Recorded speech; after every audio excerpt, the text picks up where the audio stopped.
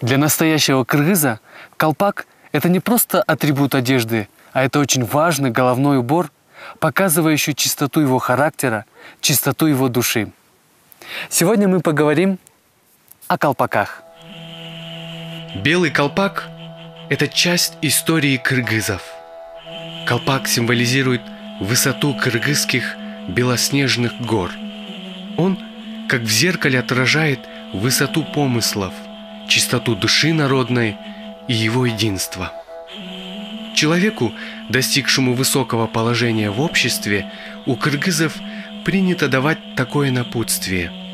Пусть белый колпак не упадет с твоей головы. Потеря белого колпака в переносном смысле означает потерю моральной чистоты, чести. Когда кыргызы отправляются на чужбину, они обязательно с собой на дорогу берут белый колпак. Это символ вершины гор Алатоо.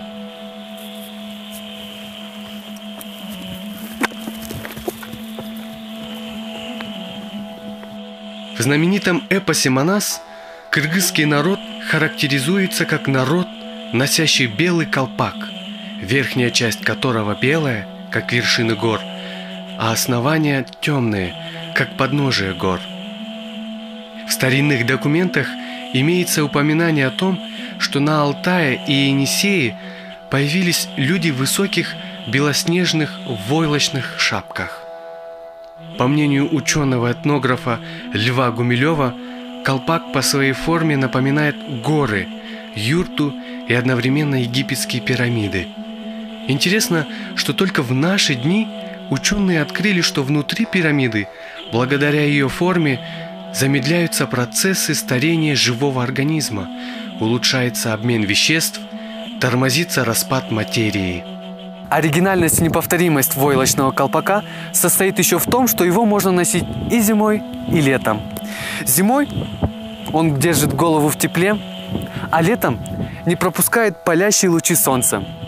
Также колпак очень практичен. Его можно легко сгинать, при этом он не теряет свою прежнюю форму.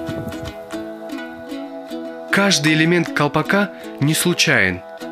Кисточка должна всегда находиться спереди.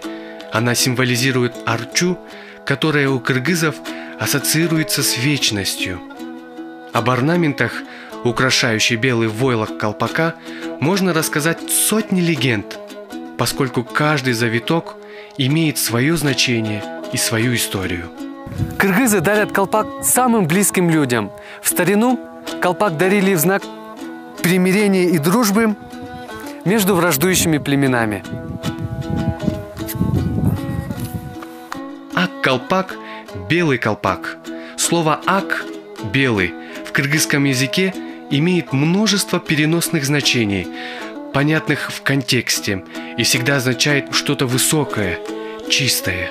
Например, белоснежный алато, ак-бата – доброе пожелание, ак-сюю – истинная любовь.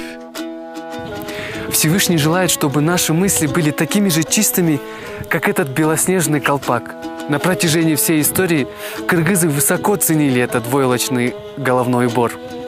Так давайте же содержать в чистоте наши умы и наши сердца. «Придите, и вместе рассудим, — говорит Вечный, — пусть грехи ваши, как багрянец, убелю их, как снег. Пусть красны они, словно пурпур, они будут как шерсть».